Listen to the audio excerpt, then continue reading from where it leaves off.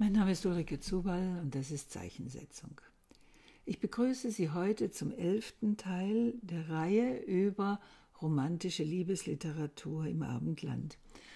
Und heute soll wieder einmal die Frau im Mittelpunkt der Betrachtung stehen, und zwar in ihrer neuen, modernen, bürgerlichen Rollenzuschreibung, äh, die einen Moment äh, beinhaltet, was wir in den Zeiten davor so nicht kennen, nämlich die Frau als Engel. Nun kommt eigentlich seit dem frühen 19. Jahrhundert ein Motiv auf, in der bildenden Kunst und auch in der Literatur, die die Frau in Engelsgestalt malt. Das entsprach den der Konventionen der christlichen Ikonographie überhaupt nicht. Wir haben Engelsbilder seit dem vierten nachchristlichen Jahrhundert und da werden Engel als Kämpfer, Siegestypen äh, dargestellt, äh, sehr männlich auch ähm, sehr machtvoll äh, siegen sie über äh, die Bösen, über das Böse in dieser Welt. Und äh, es ist sowieso so, dass eigentlich in der christlichen Vorstellung die Frauen sehr oft eben mit dem Sündenfall verbunden werden als die Verführerin des Mannes. Und ähm, da war es nicht so plausibel, sie in Engelsgestalt zu malen. Das wird eben jetzt im 19. Jahrhundert anders. Denn man hat nun die Vorstellung, dass da die Frau sozusagen der Natur näher steht, dem Anfang der Welt, dem Ursprung der Welt näher steht. Sie ist weniger reflektiert, weniger zerrissen ähm, als der Mann. Äh, gehört sie näher zum Bereich des Heiligen, näher zu Gott. Und dann wird es plausibel, dass man Frauen als Engel malt. Es gibt viele Maler, die sich dieses Themas dann im 19. Jahrhundert angenommen haben. Da ist zu nennen Fridolin Leiber, 1813 bis 1912 hat er gelebt, der junge Frauen als Schutzengel malt, die Kinder behüten vor dem Abgrund, in den sie zu stürzen drohen. Oder Bernhard Plockhorst, 1825 bis 1907. Oder Matthäus Kern 1801 bis 1892 und dann der Österreicher Hans Zatzka, Pseudonym Zabateri, 1859 bis 1945 ein österreichischer Maler. Die Engländer haben dann etwas entwickelt, was ganz beliebt geworden ist, nämlich die sogenannten viktorianischen Postkarten und da sieht man eben weibliche Gestalten als Engel, die Kinder behüten. Ähm, das ist ein ganz beliebtes Motiv geworden. Vielleicht werden einige von Ihnen auch die Schlafzimmerbilder kennen, die bei im Schlafzimmer der Großmutter gehangen haben. Diese stammen aus dem frühen 20. Jahrhundert, sind, haben ein überlanges Bildformat, hängen über dem Ehebett zeigen oft Jesus mit den Jüngern, aber eben auch Mutter-Kind-Szenen, Engelsgestalten. Das ist ein ganz beliebtes ähm, Bild geworden für äh, das Schlafzimmer. Das Schutzengelmotiv hat seinen Ursprung im Andachtsbild und wird sozusagen erfunden von den sogenannten Nazarenern, einer religiös äh, einer religiös ausgerichteten Kunstrichtung, romantischen Kunstrichtung, die sich zu Beginn des 19. Jahrhunderts geformt hat in Wien und Rom. Und sie hat dieses neue Motiv eingeführt, nämlich den Schutzengel, der ein kleines Mädchen, das im Nachthemd im, äh, in seinem Kinderzimmer äh, betet, äh, behütet. Oder auch äh, ein anderes Motiv dieser Nazarener, das Engelsgeleit in freier Naturlandschaft, wo eben die Kinder vor dem Sturz in den Abgrund bewahrt werden. Diese Frauen als Engel, die Nähe zu Gott, ähm, hatten wir ja schon beobachtet, dieses Motiv im Faust, im Teil 2. Das ist ja auch erste Hälfte äh, 19. Jahrhundert. Ich lese Ihnen noch einmal den Schluss vor, wo man das sehr, sehr schön hört. Alles Vergängliche ist nur ein Gleichnis, das Unzulängliche, hier wird's Ereignis, das Unbeschreibliche, hier ist's getan, das ewig Weibliche zieht uns hinan.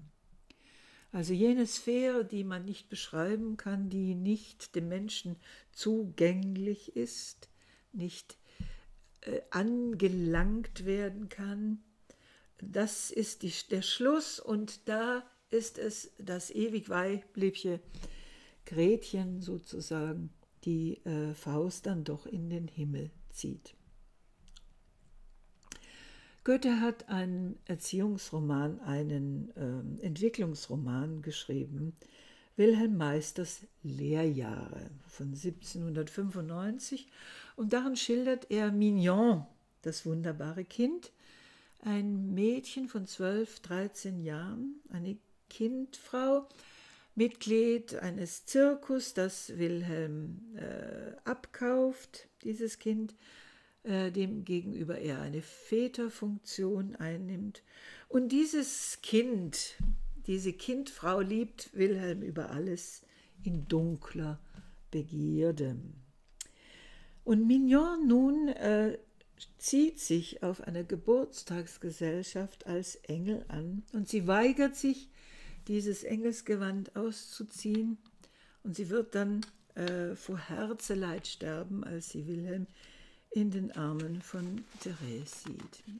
Kind, Kindfrau, Unschuld im Engelsgewand, das Kind an der Schwelle zur Frau, das ist ein, eben ein Motiv, was Goethe auch schon in diesem Entwicklungsroman einmal beschrieben hat, sehr früh eben beschrieben hat, 1795. Ich lese Ihnen ein Gedicht von Justinus Kerner vor, gelebt hatte 1786 bis 1862, deutscher Arzt, Dichter, schwäbischer Romantiker, indem er die Frauen mit Engeln vergleicht und schildert, wie die Welt wäre, wie die Erde wäre, wenn es keine Frauen geben würde. Frauen. Was wäre die Erde ohne Frauen? Das fühlt das Herz, ist's Auge blind. Ein Garten wär sie anzuschauen, in welchem keine Blumen sind, wär wie ein Tag, der ohne Sonne, wie eine Nacht und Sternenlicht, hätt nie gefühlt der Liebe Wonne, geglaubt auch wohl an Engel nicht dann hätte wohl auch Gottes Liebe kein fühlend Herz auf sie gestellt. Denn wie langweilig, kalt und trübe wär ohne Frauen dann die Welt. Preis jeder Stunde, wo gegeben Gott dieser Welt ein weiblich Kind zu lichtem, warmem Frauenleben und wenn es noch so viele sind. Also hier alle Klischees vereint äh, die Frau, Gefühl, ein Garten, Blumen, Tag, Sonne, Sterne, Gefühl, Liebe und eben auch eine Engelsgestalt, an die kein Mann je hätte glauben können, wenn er nicht die Frauen auf der Erde erleben würde. In der ab dem Biedermeier, ab 1830 ist dieses äh, wunderbare, eigentlich wunderbare und sehr positive Motiv für die Frauen dann ins Negative gekippt. Vor dem Gedanken, dass Frauen etwas äh, Heiliges haben, Engel sind, muss man sie auch äh, in der profanen und bösen Welt schützen. Sie werden ins häusliche Gefängnis verbannt. Und sie haben zwar Flügel, aber mit diesen Flügeln können sie nicht mehr fliegen. Ich werde Ihnen gleich ein sehr schönes Zitat aus dieser Zeit bringen. Ähm, sie werden auf so ein hohes, heiliges Podest gestellt, dass sie unerreichbar sind für normalen Menschen, damit außen vor, aus dem öffentlichen Bereich verbannt, kalt gestellt. Kinder, Küche, Kirche, das wird ihr Bereich. Und Jetzt haben wir eben, wie gesagt, sozusagen Frauen mit Flügeln, aber sie können nicht mehr fliegen. Das drückt sehr schön Florence Nightingale aus in ihrem Essay Cassandra von 1852. Sie kennen Nightingale als die äh, große englische Krankenschwester, die den Soldaten im Krimkrieg geholfen hat. Ähm, und in diesem Essay beklagt sie die Domestiziertheit der Frau, der englischen Frau.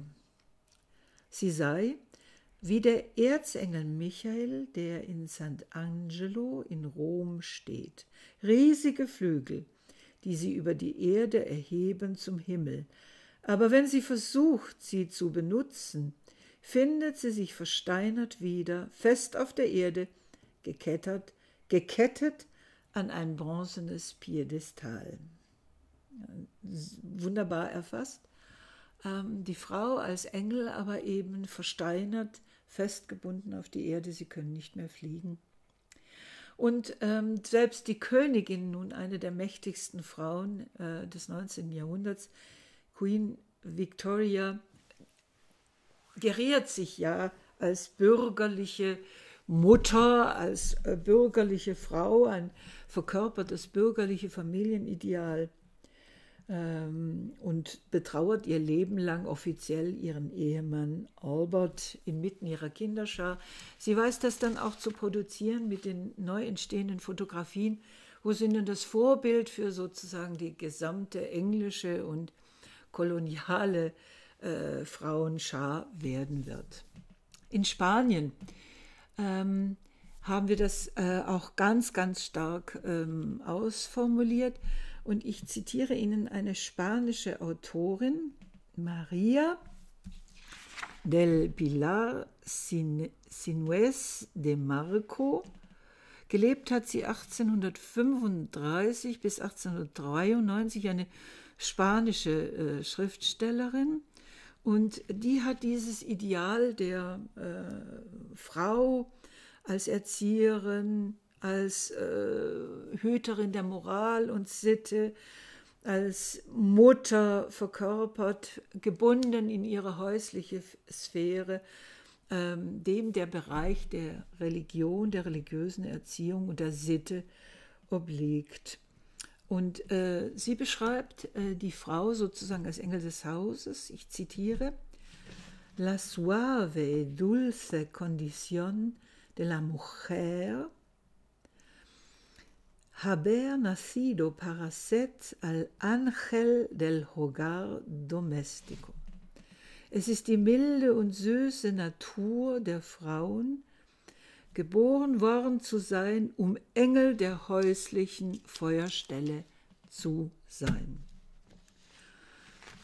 Das ist ganz, ganz beliebt geworden und ähm, ähm, diese Vorstellungen, wenn sie publiziert werden, äh, erlangen dann eine ungeheure Auflage. Ähm, sie hat dieses äh, Buch El Angel del Hogar, hat äh, in den frühen 1890er äh, Jahren sieben Wiederauflagen erfahren. Zu nennen ist in diesem Zusammenhang auch Coventry Petmore, ein englischer Autor, gelebt hat er 1823 bis 1896, der 1854 ein Gedicht geschrieben hat, erweitert wurde es 1862, The Angel in the House. Und da schildert er das viktorianische Ideal einer glücklichen Ehe, ist enorm populär geworden in den USA und Großbritannien. Und bis zu seinem Tod 1896 hat sich dieses Gedicht in einer Viertelmillion Exemplare weltweit verkauft. Der Hintergrund war, dass seine Frau verstorben war mit 38, Emily Auguste Andrews, und er schreibt nun ein Loblied, eine Lobeshymne auf sie und ähm, beschreibt sie als eben äh, the most excellent of all, also die außergewöhnlichste, äh, wunderbarste von allen. Ich zitiere einmal. the best half of creation's best, its heart to feel, its eye to see, the crown and complex of the rest, its aim and its epitome. Also die Frau, die beste Hälfte der Schöpfung, mit dessen Herz fühlt, ähm, äh, dessen Auge, its eye to see, ähm, das Auge, das sehen kann, die Krone und der Inbegriff des Restes, ähm, das, das Ziel und der Inbegriff dieser Welt, also die bessere Hälfte der Schöpfung. Und weiter schreibt er, Man must be pleased, but him to please is women's pleasure. Also äh, dem Mann, der Mann muss, dem Mann muss man gefallen, aber ihm zu gefallen, das ist das Gefallen, die Freude äh, der Frauen, der Frau. Die Frau wird in diesem Gedicht als alles Ertragende, als alles Verzeihende geschildert.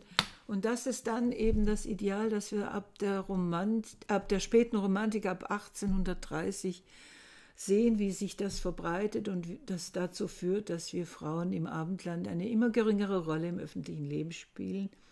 Und das wird sich dann eben erst ändern im 20. Jahrhundert und bis heute kämpfen wir um unsere Gleichberechtigung in dieser immer noch männlich dominierten Welt.